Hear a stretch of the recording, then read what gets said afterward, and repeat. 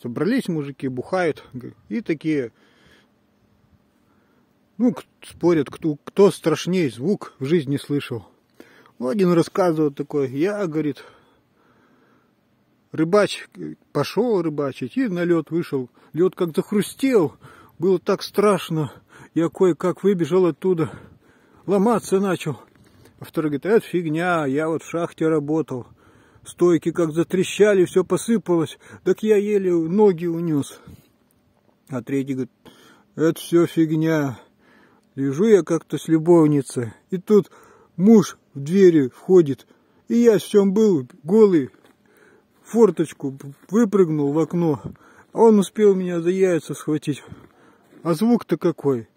А звук-то вот он одной рукой держит меня за яйца, а другой держит нож, перочины, зубами пытается раскрыть его.